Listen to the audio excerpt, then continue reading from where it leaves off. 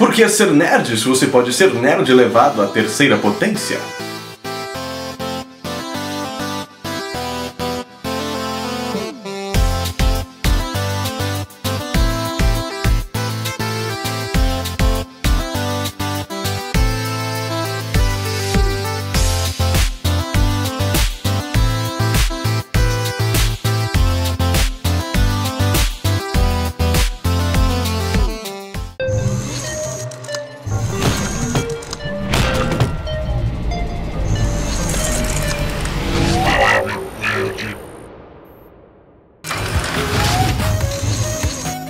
Nerds! Sejam todos muitíssimamente bem-vindos a mais um vídeo aqui no canal do Palavra Nerd. Hoje nós vamos fazer mais um unboxing de uma caixinha da Nerd ao Cubo. E dessa vez a gente vai fazer um unboxing da caixota da nostalgia, da, da, das coisas antigas, que continuam tão boas quanto antes. Um dos temas que eu mais gostei daqui é uma parada meio Ultraman, essa pegada Tokusatsu. E como vocês podem ver aqui por outros itens, esse é o, é o cofrinho do Ultraman.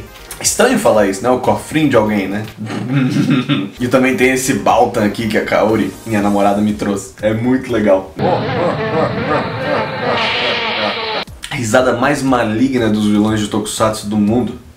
Baltan.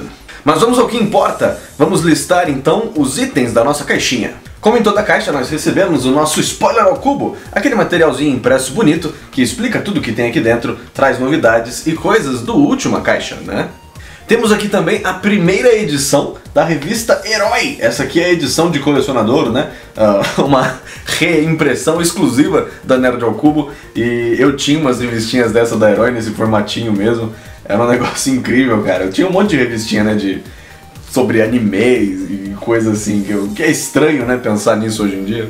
Um caderninho sensacional do Nerd ao Cubo com um tema muito maneiro, muito bem feito, a capa, né, com essa, com essa capa vazada, dá até para jogar uns games mentalmente. e olha só isso daqui, galera, uma cabeça de Yoshi, um dragãozinho, todo bonitinho, todo felpudo.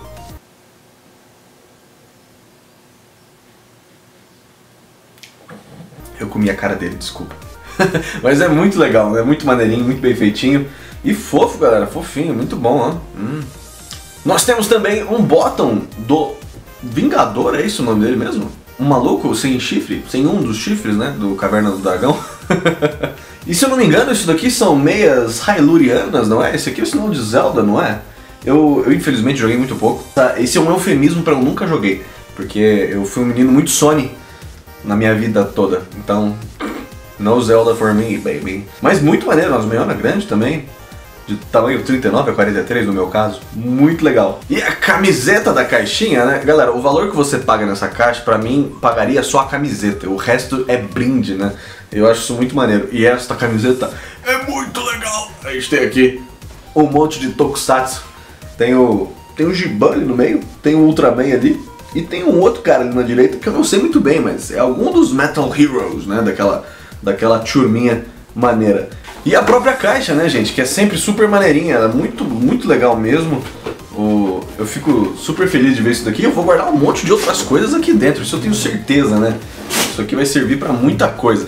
É sempre muito legal receber uma caixinha da Nerd ao Cubo e ficar imaginando, né, o que será que vai vir aqui dentro, o que será que vai acontecer. Bom, se você gostou desses itens, né, ainda está interessado em conseguir essa caixinha, eu acho que ainda dá tempo. Eu vou deixar o link aqui embaixo do site deles e você pode ir lá conferir se ainda tá rolando, porque tem muita coisa aqui que é legal mesmo. E é isso aí, gente, esse foi o nosso pequeno unboxing aqui de mais uma caixinha da Nerd ao Cubo. Espero que vocês tenham curtido. Eu vou trazer, espero, no próximo mês mais um unboxing desse. Eu tenho outros unboxings para fazer também de livros livros que a editora Criativa me mandou e até agora não consegui sentar para fazer esses unboxings, mas a gente vai fazer, com certeza vai ficar muito maneiro também. Espero que vocês estejam animados, continuem na batalha do desenho e, lógico, galera, a gente se vê no próximo vídeo aqui no canal do Palavra Nerd.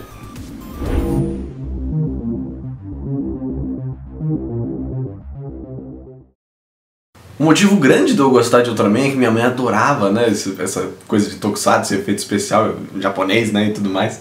Então tinha um monte de fita aqui em casa que tinha vários episódios gravados, inclusive do Ultra Seven, que sempre foi meu favorito, né?